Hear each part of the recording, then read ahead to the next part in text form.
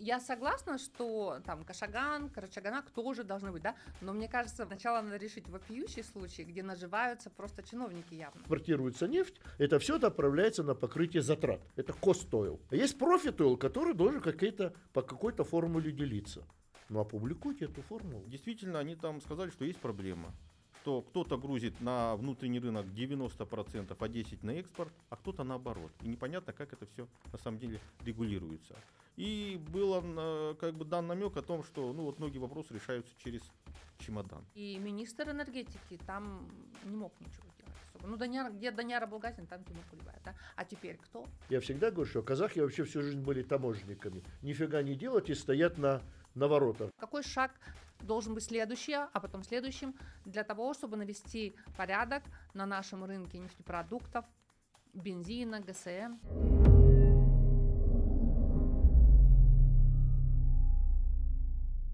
А, здравствуйте! Сегодня тема нашего подкаста – это поставки казахстанской нефти на экспорт и на внутренний рынок. А, сразу оговорюсь, как всегда я это делаю, если инициатива а, беседы, разговора, интервью исходит от э, спикера. Олег Пак, представитель Ассоциации предпринимателей «Парасат», а, но мы с вами всегда угу. на связи, да, скажем, да.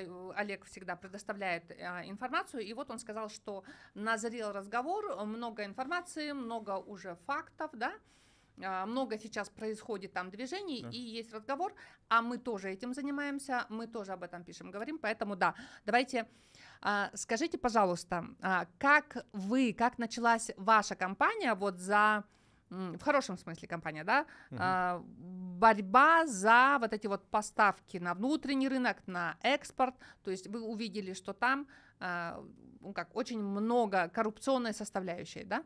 А, небольшую предысторию расскажу а, этого кейса, да, так называемого. В конце прошлого года мы получили сигнал от одной из э, наших э, казахстанских нефтедобывающих компаний о том, что сегодня она практически весь свой добываемый объем нефти вынуждена грузить на внутренний рынок по цене а, внутренней. Да, внутренняя цена она практически в три раза меньше экспортной стоимости. Мы приняли этот кейс, написали запрос Министерства энергетики с вопросом, просьба рассказать, каким образом этот вопрос сегодня регулируется, то есть насколько он прозрачен, урегулирован, регламентирован и так далее. Получили, к сожалению, а, стандартную какую-то отписку о том, что, ребята, вот, мол, э, все у нас хорошо, не лезьте сюда. А, когда мы посмотрели, поняли, что, ну, раз такой ответ, наверное, все-таки надо глубже как бы э, в этот вопрос окунаться. А, поднимаем список наших нефтедобывающих компаний, около 70, рассылаем и говорим, что есть такая проблема, давайте пообщаемся, собираем совещание – а, к сожалению, не все 70 пришли, пришло около 20 компаний наших нефтедобывающих. Те, которые я посчитаю, что не побоялись эту тему а, озвучить. И действительно, они там сказали, что есть проблема, что кто-то грузит на внутренний рынок 90%, а 10% на экспорт, а кто-то наоборот. И непонятно, как это все на самом деле регулируется.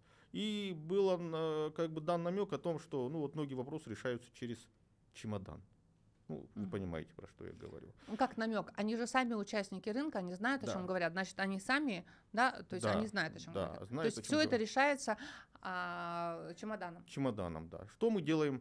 Что мы делаем дальше? Ну, у нас протоколируем данное совещание и направляем э, данную информацию о, как бы, о этой проблеме и о наличии, ну, на взгляд, коррупционной составляющей и отсутствие прозрачности распределения нефти как на экспорт, так и на внутренний рынок в два органа. В АФМ, агентство финмониторинга и агентство по защите и развитию конкуренции.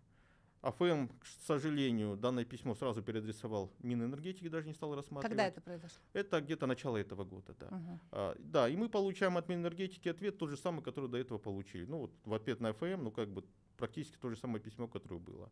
Но что э, хотелось бы отметить, ответ АЗРК. АЗРК э, пригласил на встречу. Агентство по защите и развитию конкуренции, которое mm. напрямую подчиняется главе государства да, сегодня. Задача их это вот развитие конкуренции, устранение барьеров в целом.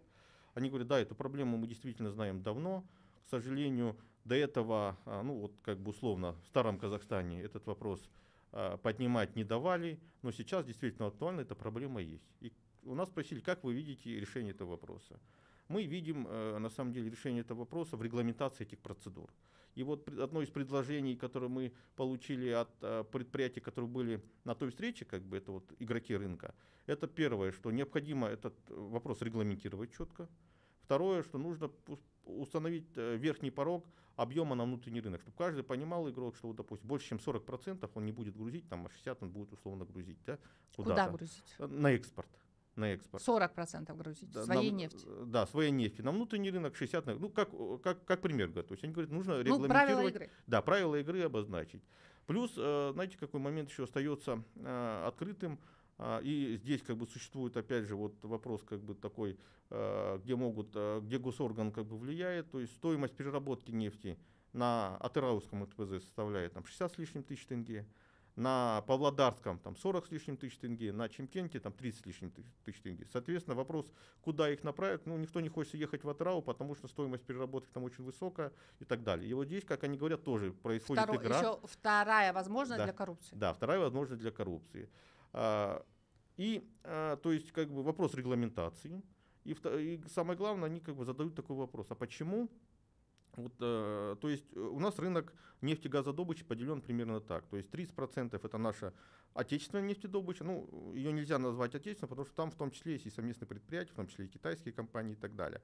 И есть так называемые три кита. Это Тенгиз, Кашиган, Карачаганак. Это около 70% добычи нефти и газа, которые полностью экспортируются. И на внутренний рынок они вообще ничего не грузят. То есть 70% добывают, но только на экспорт. Uh-huh. У наших э, НДО э, они задали такой вопрос. А почему как бы, вот мы, наши казахстанские, которые работаем в рамках нашего казахстанского законодательства, то есть выполняем требования по местному содержанию, по местным кадрам, там, экологическим требованиям, то есть налоги, все. А те, которые э, не выполняют этого ничего и работают в рамках СРП и добывают большую часть, по сути, этой нефти, ничем не обязаны. Олег, вот видите, да? вот даже сейчас ага. и на нашем на ага. наше вот интервью ага. вы смешиваете, и они там. Это большая ошибка, ага. а, вот это вот смешивать, ага. потому что м, иностранные инвесторы ага. это другой вопрос. Но когда внутри для казахстанских 70 компаний, вообще это, а, это же на самом деле нонсенс, что вообще нет правил, и только да. один или два да. чиновника да, решают. Да значит, вот эти 70 компаний, да. ты будешь отправлять угу. на экспорт, угу. ты на внутренний рынок. Ты будешь отправлять при этом еще угу. внутри в Атырау, где дорого, а ты э, в Шимкен, где, да. где дешево. Два человека. Это же, ну, даже если будет святой человек там сидеть, это же понятно, да, что. Можно а я... на каком основании он это делает? Но нет, они угу. опять начинают приводить Кашаган, и это уводит, ну вот согласитесь, уводит дискуссию. Решите угу. вот эту проблему. Потом добирайтесь до Кашагана, да, Тингиза, да, Карачаганака. Вот Это политический да, вопрос. Да, буквально два политики. вопроса. То есть я, я просто рассказывал э, предложение нашей компании. Они говорят, обижите э, три кита условно, грузить на внутренний рынок, и тем самым они бы существенно разгрузили бы наши компании. Это как предложение. Теперь правильно, Нагульнар, вы сказали, сегодня отсутствует регламентация этих процессов. Вот это и АЗРК это подтвердило. У нас есть ответ, агентство по защите радиоактивных говорит, что сегодня этот процесс не регламентирован, и они уведомляют Минэнерго и говорят, ребята, ну это нарушение, по сути. А что является... отвечают? Они говорят, а мы не хотим, мы хотим сами а волюнтаристски вот, Да, вот это как бы, я не знаю, что отвечать, но мы сегодня провели встречу совместно с руководством АЗРК и депутатами, которые входят в наш Координационный совет Альянса, для того, чтобы этот вопрос в рамках а, рассматриваемого кодекса о недрах, который сегодня там, может находится, мы могли вот регулировать. Но а, хотелось бы, почему мы говорим сегодня, почему я обратился к вам, для того, чтобы э, мы могли донести и до недро, э, э, нефтедобывающих компаний, и до правительства о том, что э, этот вопрос поднимается, нам необходимо его вот как бы придать такому э, общественному резонансу этот вопрос для того, чтобы мы могли действительно его довести до конца и решить этот вопрос, потому что, ну вот, правильно сказали. Ну, на этой встрече человек, да. а, вот эти бизнесмены, да, угу. а, они же все равно знают, кому носят эти чемоданы денег, а, какому именно чиновнику, который решает, что вот этой компании 90% а, ее квоты отправить за рубеж по цене в три раза дороже, а 10% только на внутренний рынок. А другой компании наоборот, 90% на внутренний рынок, а 10%. То есть они же знают, кому носят. Они а, назвали вам должности, фамилии? К сожалению, не назвали. А, ну, я не стал как бы окунаться. Для меня это зачем? Как бы меньше знаешь, крепче спишь, да? Но... А как решать проблему, да, если но, мы не знаем? А, но... Так и будем, ну давайте да. спать тогда спокойно. Вопрос да. просто, а кто решает? Да, кто надо, решает? надо же не говорить, что а. зачем это бедных заставлять. Надо у государства спросить, а кто решает? кто решает Вот этот вопрос и все. Да. Ну, у нас же есть регламент. Кто Же. решает? Есть же регламент. Есть э, курирующий зам, замминистра. Да? есть процедуры, там есть э, департамент замминистра? нефти и газа. Насколько я знаю, это Кинженов. Да. Насколько он курирует этот вопрос. Но А, я не могу. Минэнерго. Да, Минэнерго, да, я не могу сказать, что он там, я не знаю, там где-то причастен. Но я говорю, что это он курирует этот вопрос. А, и есть департамент, по-моему, нефти и газа, вот так и называют, или этот, вот как бы он внутри этого В департамента. Минэнерго. Да. Он тоже решает. Да, кстати, я еще, ну, наверное, отмечу этот факт, что э, одно из предприятий вообще сказало, что это есть инструмент трейдерства. То есть 100% заставляют грузить на внутренний рынок, через полгода компания э, в убытках, и потом приходят и говорят, давайте мы его купим. То есть, понимаете, ну, это вот, э, Сергей Иванович, Тогда это То уже чиновники в связке с рейдерством? Э, Я, я не могу утверждать, что, кто это с кем, но я могу сказать, что есть э, жалоба одного из предприятий. Они обвиняют конкретно Минэнерго А, скажите все-таки, Олег, вы представляете предпринимателей, вы защищаете их интересы, а, вы знаете, кто курирует этот больной вопрос, да, где ситуация нездоровая, где она создана Мгм. на 100% под а, коррупцию, да? А, но вы обращались именно тогда к этим лицам, Ну, мы... к этим чиновникам, к этому вице-министру курирующему и начальнику департамента? Мы обращались официально, как я уже говорил, у нас была официальная переписка. При этом мы получили ответы за их подпись о том, что у нас все регламентировано, все хорошо.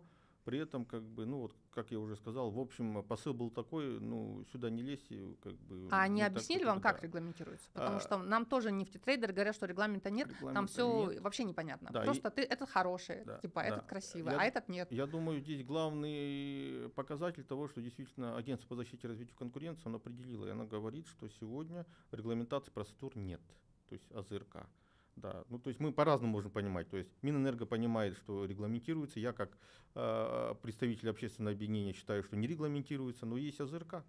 Да, я считаю, это как раз тот орган, который призван следить за конкуренцией и не допускать каких-то антиконкурентных вещей. Сегодня как бы есть вот как бы э, понимание со стороны АЗРК, что есть как бы здесь проблематика. И поэтому есть инициатива внести поправки в, э, в законодательство для того, чтобы регламентировать все эти процессы, как поставки на внутренний рынок, так и на так и на экспорт нефти. Да. А, скажите, Серик Миноварович, а вот в старом Казахстане а, такая же была система квот? Ничего не поменялось.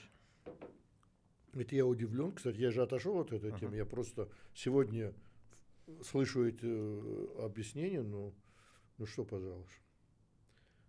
То есть это всегда так было, что компании вот эти внутренние казахстанские, а, они как бы вот беззащитные, да, там все решает чиновник, куда отправлять.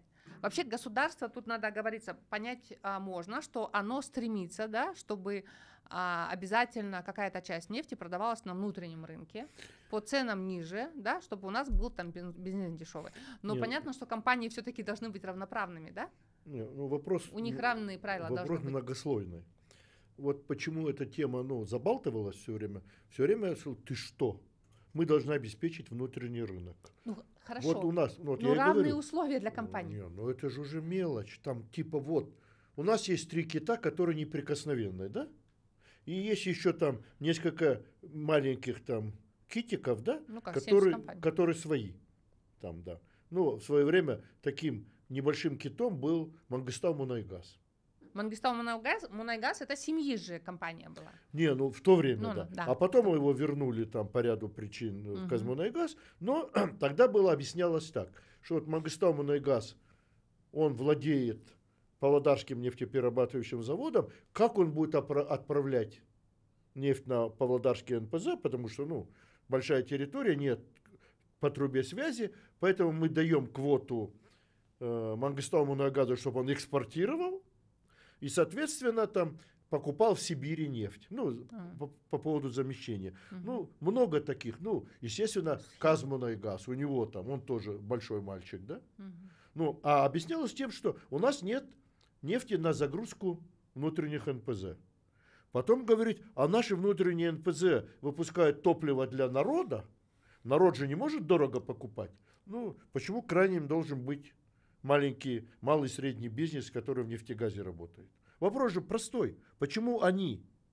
почему нет равноправия. Вот я очень благодарен, я уже думал, эта тема, так сказать, Мгм. давно забетонирована там, да? Вот видите, это ж Альянс Мгм. предпринимателей ее Нет, поднял. Я согласна, что там Кашаган, Карачаганак тоже должны быть, да, но мне кажется, сначала надо решить вопиющий случай, где наживаются просто чиновники явно. Не, да? видите, вы правильно На- на говорите. этой не, вы правильно говорите. Ее надо изменить, а потом Эту уже- тему надо отдельно рассматривать, но при, при общем рассуждении они говорят, вы что, кто будет на внутренний рынок? Мы же их не можем Так это трогать. вот, когда Это они поднимают, вопрос. они ее забалтывают. То есть, Нет, понимаете, нет, да, в это- дискуссии, когда вы поднимаете и вот это вот, а потом еще Карачаганак, у них есть всегда возможность отвечать вот так. Сначала вот просто, почему для казахстанских компаний 70 а, нет равных условий? Нет, почему Гульнара. это решает один чиновник? Гульнар, я с вами согласен. Но мы же, так сказать, ну, как сказать, научные работники, мы должны вопрос структурировать. Есть нефть Казахстана, там 90 миллионов тонн, да? Мгм. Из них нам необходимо для загрузки внутренних там НПЗ 10-15 миллионов тонн. Хорошо, мы типа мы тех не можем трогать, тогда давайте этот вопрос отдельно звездочку поставим. Да. Его тоже надо обсуждать, потому что он горит. Конечно. Сегодня, когда у нас экономика, я извиняюсь, такое состояние, вот во- вопрос, как его решить. Ну, это тоже отдельная тема. А теперь говорят, вот мы должны напрягать местных производителей. Почему этих, а не этих? Вот. Почему неравномерная нагрузка? Да. И оттуда идет еще третий вопрос. Понимаете, у нас, как казахи говорят, я всегда говорю, что казахи вообще всю жизнь были таможенниками. Нифига не делать и стоят на, на воротах. Да? У нас регулировка, что отправлять на экспорт, то есть в трубу или в, на КТЖ, или на море, да? то есть ну, где-то дороже, где-то дешевле. Да? Первый вопрос. Тут таможня. Понятно, что наши тут стоят. Второй вопрос. У нас же есть малые НПЗ. Почему мы эту тему вообще утопили, забыли, там они бедные прозевают. Они, нет, они готовы нефть покупать, почему им не дают? И третий вопрос. Почему на этих НПЗ есть единый поставщик? У нас же с тремя НПЗ работают некие уполномоченные компании, а не производители нефти. Кто решил, что на НПЗ должен быть один на таможне стоит, он решает, он, извиняюсь, нагибает местных производителей, это поддержка местного производителя, и он решает, на каких условиях договариваться с заводом. У нас же заводы тоже отсечены от бизнеса. У нас все НПЗ работают на так называемом процессинге. Вот, фиксированная цена, Толлинг, да, так называемый ну, толлинг. толлинг да, или да. процессинг, да. Да. У нас фиксированная цена, он якобы он сидит и круглый глаз задел, я вообще не при делах. Вот мне отгрузили там миллион тонн, я переработал, Он как сепаратор, как будто механизм Да, просто, да? Не но та- бизнес этот да, завод, а как но там же сепаратор. другой вопрос возникает. Ну, я просто извиняюсь, э, и очень ва- важно, что эти темы, их надо обсуждать. Мы же, по-моему, больше 10 миллиардов долларов уже инвестировали в модернизацию трех заводов. Помните, у нас были лозунги, мы будем авиакеросин производить, нефтью, топливом завалим. Где результат? Ну, 1 октября закрывается АНПЗ опять на ремонт. Не, ну это уже так сказать, э, ре- сезонный процесс. Мгм. Вопрос в том, где глубина переработки денег, когда инвестировали, обещали 96% на уровне лучших мировых образцов. Покажите глубину переработки. Если мы перерабатывали 96%, во-первых, у нас не было мазута дешевого на экспорт, да, который мы вынуждены продавать якобы, да? Где? Где результаты? Понимаете, почему крайними должен быть наши малый и средний бизнес нефтянки? Почему? Вообще вот все вот эти заложенные, да, а, такие специально возможности для обогащения каких-то лиц вообще вот на этом рынке, они остались, да, от ну, старого Казахстана, как мы условно называем, и сейчас ничего не поменялось, да? Я думаю, И не да. хотят, и нет воли, да, менять, желания менять там что-то. Ну, а зачем менять? Если и так хорошо. Ну, где мотивация менять? Там начальники поменялись, может, мы с ними договоримся, или они уже договорились. Ну, извиняюсь, вопрос простой же. Чем мы там вокруг да около ходим? Если не поменялись, значит, кому-то это выгодно. Если система работает, значит, кому-то это выгодно.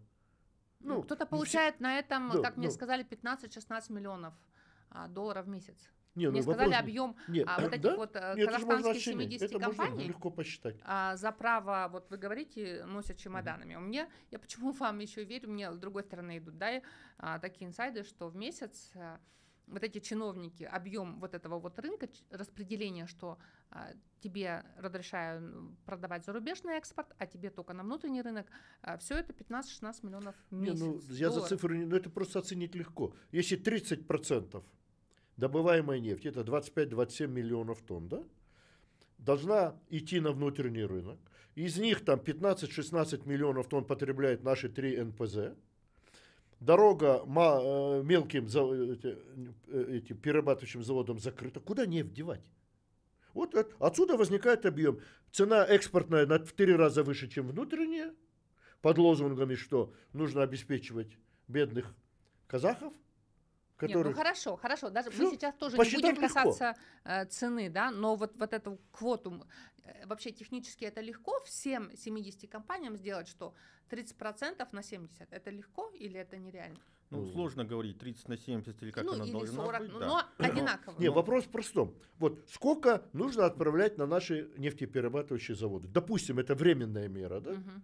И пока мы не решим, э, это же скрытое субсидирование внутреннего рынка, да? Да. Поэтому получается как? Вот если вы едете на «Жигулях» или там на малолитражке и в месяц потребляете 50 литров бензина, да? А какой-нибудь бизнесмен или там крупное а- автоперевозочное предприятие получает 5 тонн, да? Получается, государство субсидирует, но Богато. государство субсидирует. То есть я получаю условно 50 долларов в месяц скрытых субсидий, да? А он получает 5 тысяч. Неравенство.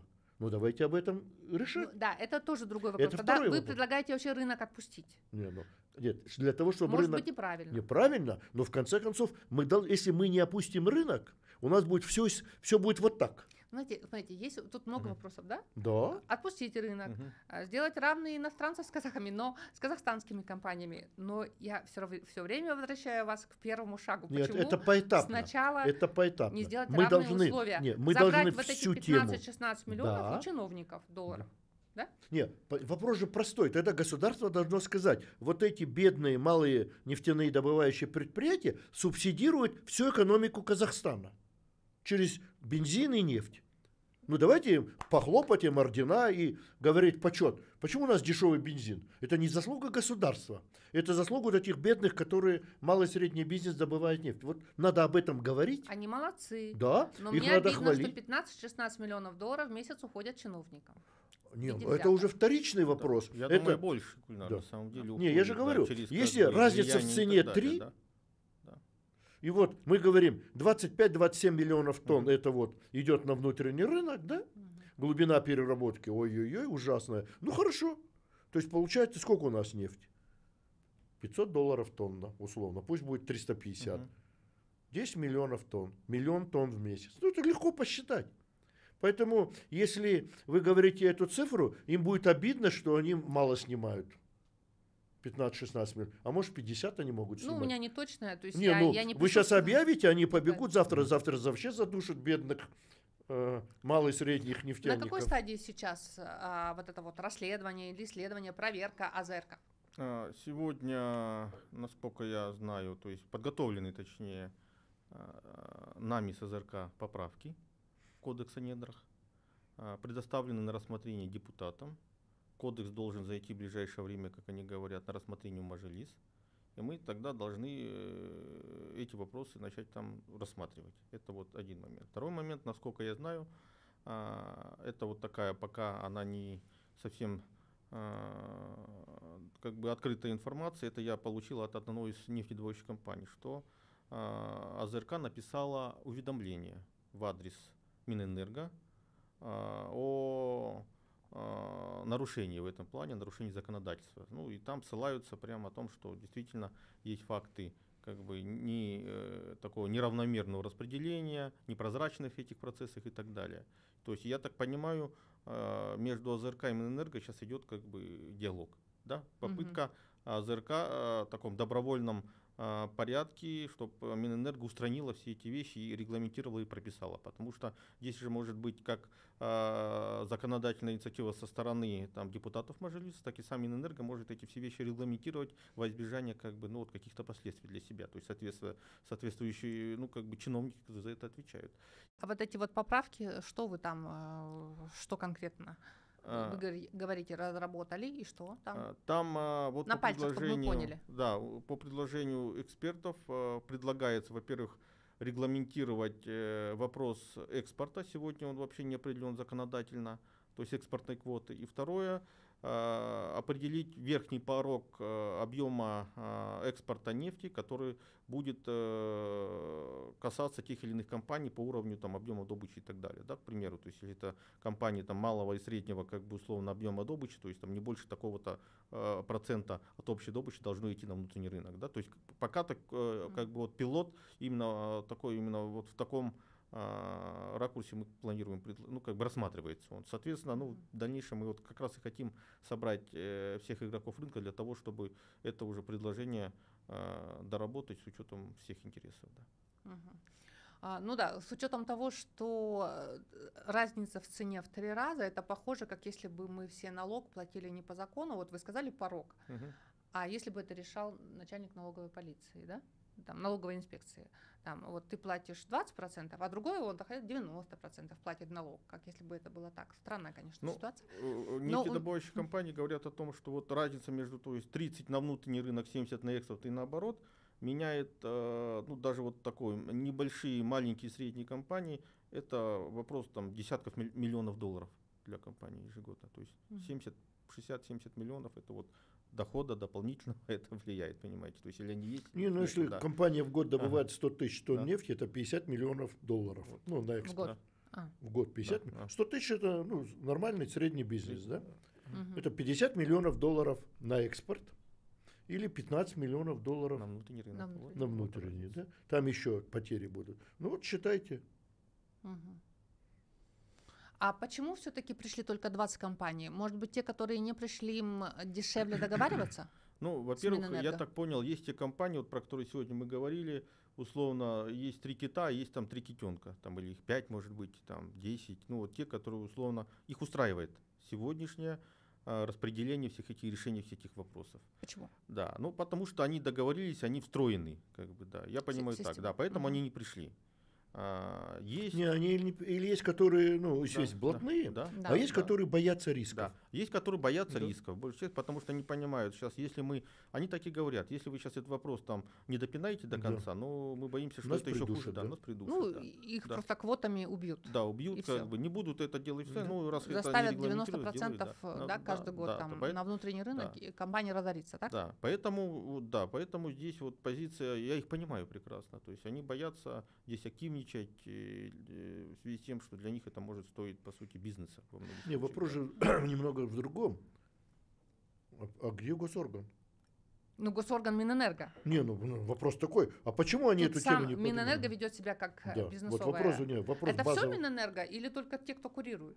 Ну, конечно, именно кто курирует, я так предполагаю, навряд ли Ну, все Минэнерго как бы это может быть завязано. Ну, министр имеет к этому отношение? Он может э, приказывать, принимать решения вот в этом отношении? Это его функция. Функция.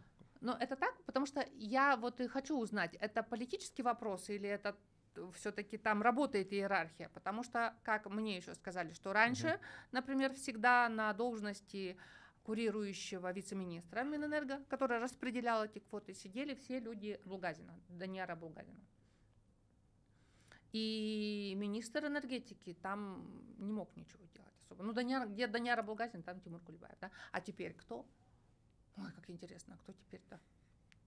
Вы не знаете? Не знаю. Это большой вопрос. Ну, кто-то есть, я так не, я не понимаю. знаю. Ну, кто-то есть. Кто да. же? Не, если да. есть источник, значит Да, есть потребитель да, его. да. Бенефициар. А, Прозвучала фамилия Акинженова. Он сейчас курирует, он вице-министр этого вот направления, да, А, которое распределяет эти квоты. Ага. Он э, за ваши поправки или против? А, насколько... ну, Мне сложно ответить. По сути, да. ему, наверное, облегчат, да, если по закону все будет очень чисто, прозрачно. Это же чиновнику По облегчает большому, работу. да, я считаю, если бы я вот себя э, ну, э, сажу в его кресло и понимаю, что если а, это все будет регламентировано, и ко мне не будет вопросов, никакой меня там, условно, ПАК меня не сможет никогда там обвинить и сказать, что я там что-то делал, ну, наверное, да. Да, Да. Вот он, да, там Да, бумажка, Да, как бы работы чётко, меньше. Да, то есть, там, я не знаю, э- эти вещи можно все оцифровать на самом деле, как бы, да, применить Не, А вопрос ему же задачу далее, да. поставили оцифровать нефтяные. Но там уже все давно оцифровано. да. Какие проблемы? Я просто, я помню в новости, в новостях звучало, что э, это прям а, его поставили на эту должность, у него задача оцифровать. не? До Нового года он должен оцифровать все. Не, Гульнара, ну у нас-то это же... А без этого закона можно оц- оцифровать? Вот без э, того, что вы предлагаете, возможно оцифровать? Безусловно. То есть здесь два, два есть пути решения. То есть они могут вот эти все поправки э, и изменения внести путем внутренних своих нормативных актов, приказов и так далее, ведомственных. Но мы хотим для того, чтобы ее делать, мы хотим зайти именно в зак- сам закон, как бы, а не для того, чтобы, соответственно, там уже э, заложить э, те принципы, которые должны быть дальше потом спущены. Да. То есть, безусловно, при желании это, они все это могут, ничто их не держит. Э, Сейчас ну, если идет нас судебный процесс. Если у нас 90 предприятий, да, то это же даже калькулятор не нужен, он может на одном листочке, так сказать, оци- оцифровать это все. Ну, вс- всегда лучше, я, я и спрашиваю, это можно Не, ну я просто говорю, да. А, скажите, сейчас же вот э, вы поднимаете эту тему, так сейчас идет в Астане суд а, над Данияром Аделбековым, э, автором, владельцем э, анонимного канала «Дикая Орда», Орда, да, а, где как раз-таки вот эта вся информация звучала, а, что я не могу ее повторять, потому что человека судят за эту информацию, да, но именно про поставки нефти, что вице-министр Акинженов, он распределяет это э, не бескорыстно. Это как когда случилось? Ну, эти, э, эти публикации, они были где-то в начале года, Да? Себе. да. февраль, январь, а сейчас уже идет суд, А, но там еще есть другие м, обвинения, жалобы. А, Я не сужусь, а, не- буду судить э, там справедливый, несправедливый. Там есть еще два, а, два заявителя на него, но все-таки вот это самое такое центральное на вице-министра Кинжанова. Так, тогда человека судят, но получается, что эти, вот этот вот анонимный канал, он писал правду, что ли? Я, кстати, не знаю ни автора канала, ну и так, сколько читал эту информацию, но сложно мне говорить, что там было, в чем было конкретно обвинение, но я говорю вот за то, что, как говорится, я Там знаю. было обвинение о том, о чем мы говорим. Да. О том, А- что а, вот эти квоты Да, а распределяются не А бескорыстно. ку- а квоты распределяются непрозрачно, и есть на то даже ответ из РК, который говорит, что там... Там еще судят вопросов, да. Саудигерова, нефтетрейдера, тоже нефтетрейдера, который тоже занимается поставками на внутренний рынок. Также. И их, их двоих судят. Нефтетрейдера Саудыгеровой и э, Данера Делбекова, Дикая Орда. А Вот за, я, э, типа, Саудыгеров, как я поняла, заказывал эти статьи. Ну, то есть, получается, видите, еще и вот эта непрозрачная система, она порождает что? Эти бедные компании, да, бизнесмены, которые хотят справедливости, они идут а, к анонимным каналам, ну, и если это правда, как следствие Мгм. утверждает, и они платят, да, этим анонимным каналам. А, Мне кажется, пока не будет здесь прозрачности, такие вещи будут всегда происходить. То есть бизнес будет все-таки искать варианты решения этих вопросов. То есть, я не знаю, через телеграм-каналы, через блогеров там. Ну вот мы сегодня открыты как площадка. Понять Приход- можно, приходите сюда, как бы давайте обсуждать открыто. Там а, мы полностью открыты, и я думаю, вот в ближайшее время мы проведем как бы вот а, некое совещание по этому вопросу, как бы переведем это все такой в официальный статус и давайте рассматривать. А вы думаете, это реально победить? То есть, смотрите, у людей, а, у каких-то людей, мы не будем говорить, да, там идут суды, это очень страшно. а, э, Человек, ну как там сажают людей за то, что вот если там озвучиваешь что-то, ты говоришь, поэтому мы не знаем, какие люди, да, но какие-то люди получают прибыли. И вы хотите сломать эту систему, но никогда человек не хочет э, добровольно отдавать то, на чем он зарабатывает миллионы, и, может быть, о чем он мечтал всю жизнь, да, это, это место получить, и вы- а теперь у него хотят его забрать. Он будет сопротивляться. Как вы считаете, у вас получится это? Сломать систему, Не, ну, провести знаете, поправки. Давайте объективно, да? Да, То есть Ну, я вообще, для меня вот это вот по поводу, что человека судят, это вообще, так сказать, ну, шокирующая новость, да? Я скажу так, тема созрела, может сказать, перезрела. Сегодня у нас же новый Казахстан, да? Тем более, ну ладно, так сказать, за идейность, ладно, отложим, да? Но сегодня у государства нет другого выхода. Вот. э, Очень правильно тему подняли, да? И ну, для меня оно новое, но, к сожалению, я так знаю историю вопроса и как оно работает, да? Сегодня какая ситуация? Сегодня стране нужны деньги. Быстро, много, потому что и правящий сегодня класс, как говорится, или там, да, новый Казахстан, он в критическом состоянии. Да? У других источников денег нет. Поэтому вот, ну, мы не только правильную социальную задачу решаем, поднимаем вопрос несправедливости, и, бу- ну, и мы надеемся, что новый Казахстан среагирует на то, что, так сказать, бедный казахский народ страдает, да? Ну и во-вторых, это мы показываем путь, по которому надо идти. Во-первых, заслужить лавры справедливого Казахстана, а во-вторых, реально решить экономическую задачу. У нас сегодня ситуация аховая. И при этом сидеть спокойно и наблюдать, как, извиняюсь, страну грабят, продолжают грабить, да, это о чем говорит? Это стопроцентный индикатор. Будут реагировать, значит, они правильным путем идут. Если не будут реагировать, мы сделаем соответствующие выводы. Мы знаем нового бенефициара. Ну, я вот вынужден это говорить. Вы сейчас вопрос ставили, вот я на него отвечаю. А, Ну. если вот эти поправки ваши пройдут, м, а ЗРК и вы, Парасада, предприниматели, вот эти бизнесы а, нефтедобывающие, вы победите, и вот эту систему сломают, чиновники перестанут, э, ну, как минимум, да, там 15-16 миллионов долларов в месяц получать за распределение квот, кому продавать на внутренний, кому на внешний рынок. Что, какой шаг, вот как раз-таки э, то, на чем я вас прерывала, какой шаг должен быть следующий, а потом следующим, для того, чтобы навести порядок на нашем рынке нефтепродуктов, бензина, ГСМ.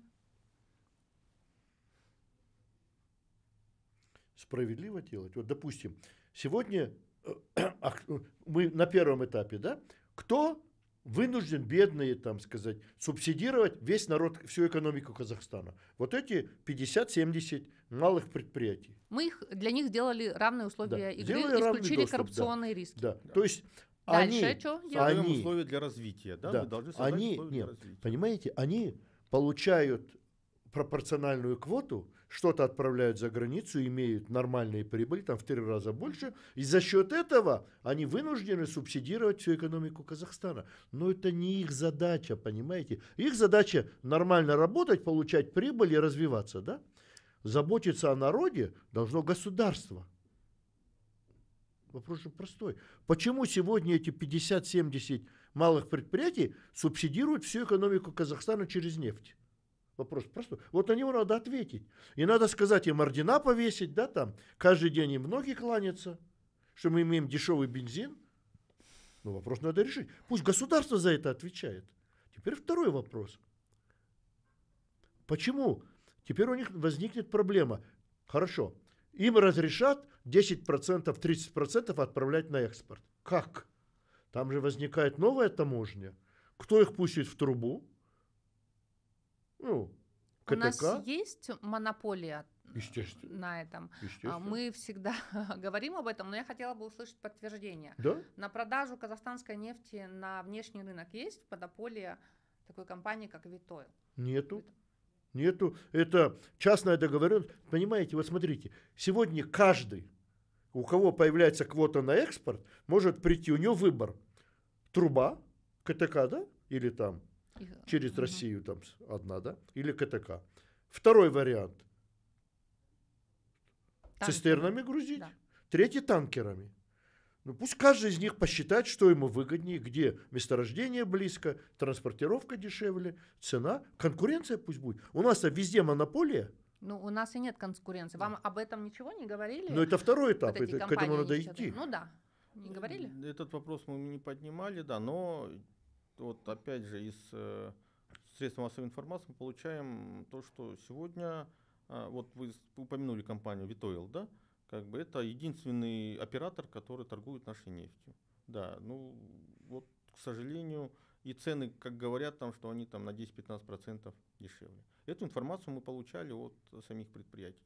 А, Но- Получали, да? Как да, мы- они при- тоже- но они ба- не, не- не приходят и не говорят так открыто. Да, но, Когда им говоришь, давайте мы поговорим об этом, они говорят, нет, мы боимся. да, но при этом а, они понимают, что вот главная проблема здесь именно внутреннее распределение. Даже та экспортная цена, пусть она с 10-15% дисконтом, она их устраивает, и они А, ну, это считают уже за как бы на самом деле огромную как бы Сколько удачу. Витойл да. зарабатывает, Да, да, на таком да, дисконте? да. Ну, слово зарабатывает, вы знаете, Ну как, его ну, нельзя Мгм. пачкать, это Да. слово, что они зарабатывают. Ворует, Мгм. да? Вымогает. Так же тогда получается. Ну, не зарабатывают.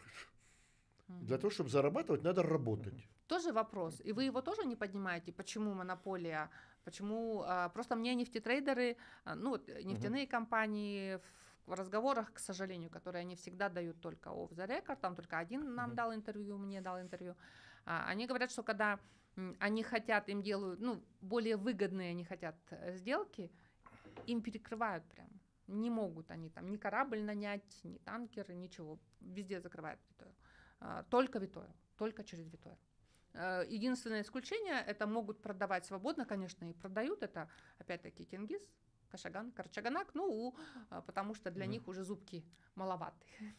Это уже такие игроки, которые сами, конечно, по трубе все гонят. Вот вы вопрос э, как бы задали, да, в отношении того, что следующий шаг. Да, следующий шаг как раз-то а, мы должны фокус в целом увести, вот понятно, разобравшись с проблемой этих там, 30, э, ком- 50, э, там, 50 компаний, которые а, сегодня формируют 30% рынка, мы должны э, а, перейти на те а, три компании, которые формируют 70% рынка. Да, это как раз Тенгиз, Кашиган и Карчаганак.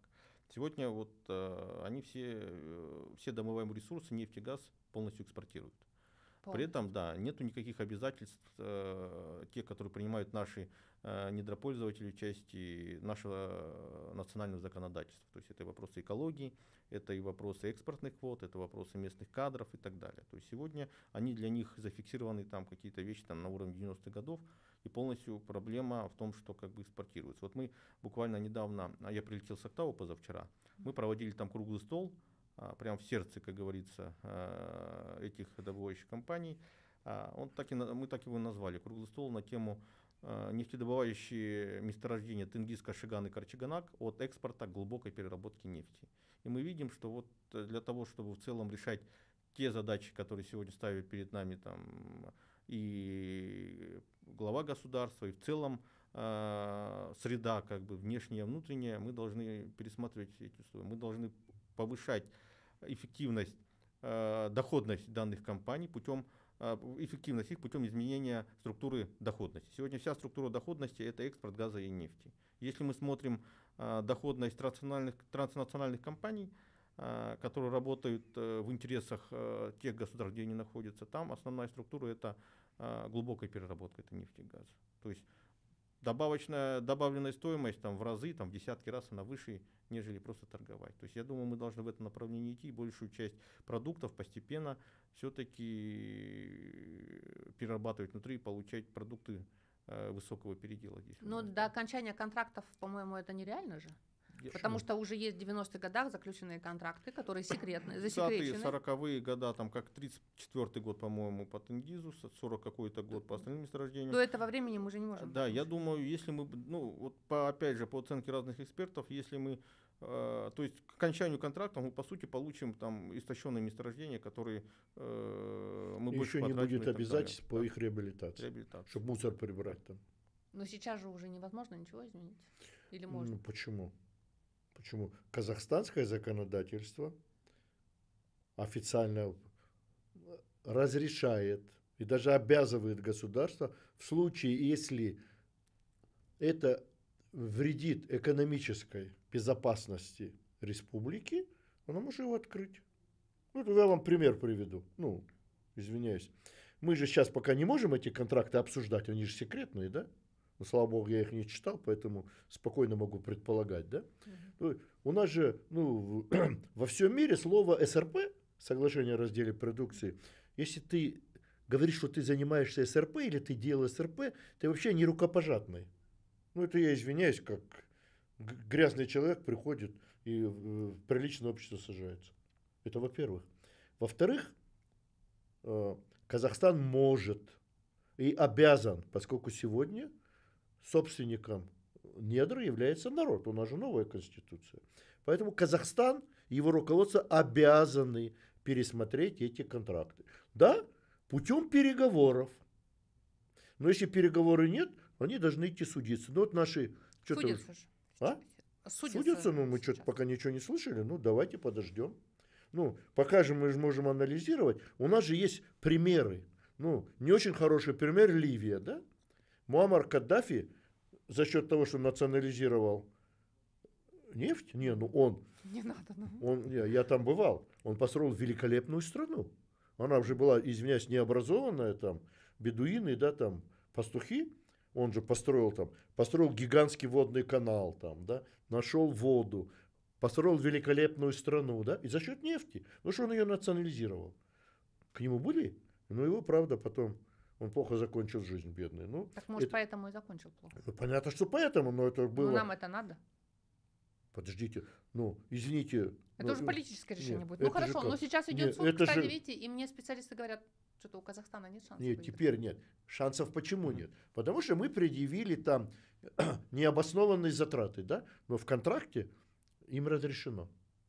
То есть есть, ну, это уже отдельный вопрос. Разрешено пить шампанское нет, мое. нет, да? есть В- cost oil. в То есть люксо- вот в люкс-отелях. СРП пишется как? Ну, у страны нет денег, да? Но говорит, вот у меня крутое месторождение, вот его забери, сам вкладывай, сам рискуй, и будешь вот со мной вот так делиться прибылью.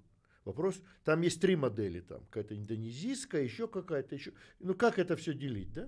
То есть вопрос же просто, ну, мы же, мы же там говорим, что мы казахи крутые, образованные, там продвинутые, да? Почему мы себя сравниваем с Ливией, где образованных-то людей не было, когда контракт заключали? Ну, извините меня, а что такое Саудовская Аравия сегодня? Помните, как король Сауд, он же в палатке жил, извините меня, а Абу-Даби, они в палатке же, у них дома не было. А сейчас они процветают, и страна процветает. Что, мы хуже? Мы же умнее, мы же продвинутые, мы крутые, да? Вопрос же, вот, вот вам ответ.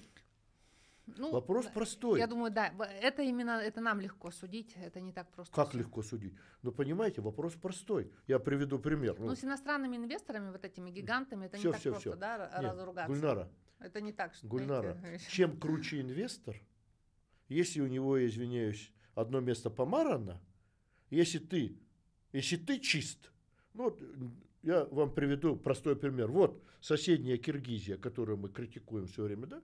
Ну, там СРП, по-другому, месторождение золотодобывающее Кумтор. Три или пять президентов никак не могли вернуть, помните, да? Потому что каждый раз Камеко, и потом как они его, ну это на самом деле за ними Камека стоит, ну, насколько я понимаю, большая компания, да? Ну там они поставили вперед, Фронтила там небольшая канадская компания. У них же даже, они золото без всякой таможенной очистки с месторождения вывозили прямыми рейсами. Ну это же известная история, да? Да. Когда пришло новое правительство, да, ну его тоже снесли, да? Ну что? То есть там не было ни одного человека в этом правящем клане, который заморался э, контра- контактами по Кумтору, да? Они просто сказали, ребята, да, написано, что нельзя публиковать, а другой пункт написано, что должно быть все честно. Вот сейчас мы опубликуем, а за нами ничего нет. Те умылись, подтерлись, покланялись, еще принесли так все, что они успели, не успели унести, и свалили же. Масса примеров. Саудовская Аравия по-своему решила, но там необразованные люди были. Ну, это король Сауд, по-моему, даже читать не умел, да? Это же известно. Но у него воля была. А у киргизов, вот у этого правительства не было никаких хвостов. Сегодня проверяется не только там, ну, я извиняюсь, вот нельзя на одну ступень ставить Кашаган, Карачаганак и Тингиз, да? Потому что Тингиз, по сравнению с тем, что сейчас творится, это был образец. И надо спасибо сказать э, Гифину Джиму и Нурлану Балгимбаеву, да, нашему покойному нефтянику, что они сделали такой контракт. Он сегодня образцовый для нас. Мы имеем 25, 20%, мы имеем правильное распределение доходов, и у нас в основном национальный фонд за счет чего пополняется? Вот я хочу сказать второй вопрос, ну, только пусть там на меня не обижаются. При формировании концепции национального фонда, ну я где-то там рядом был, да, я помню, что сверхдоходы от всех горнодобывающих предприятий, то есть вся наша металлургия, они тоже были, направлялись в национальный фонд. А сегодня же там вообще слова нету. У нас ни одни цветная металлургия там и тяжело, они не, не отправляют деньги в национальный фонд. Нету. А куда они отправляют? Ну, налоги? Ну, имеете это уже что? вопрос к ним, куда они его отправляют, и к нашему правительству. Они вначале, ну как, извините, на, нацфонд там Норвегии там или всего-то, да? Все горнодобывающие предприятия. У нас так и было написано. А сегодня эту строчку, по-моему, выморали. У нас кто отчитывается, кто направляет деньги в национальный фонд? Ну, только вот эти вот. И то. У нас же сейчас вот это есть костойл. То есть это то, что направляется на покрытие затрат. Они у нас Кашаган-то как прописывался. Извините, когда Кашаган создался, и мы назначили Эни, да, итальянцев, хотя непонятно, почему Эни, у него не было опыта в таких месторождениях, да, Эни стал оператором. И там прописано все, все, что вначале экспортируется нефть, это все отправляется на покрытие затрат. Это cost oil, да? А есть profit oil, который должен какие-то, по какой-то формуле делиться. Ну, опубликуйте эту формулу. А У нас же вначале там 18 миллиардов было, потом 30, а сегодня 150. Стоимость Кашагана.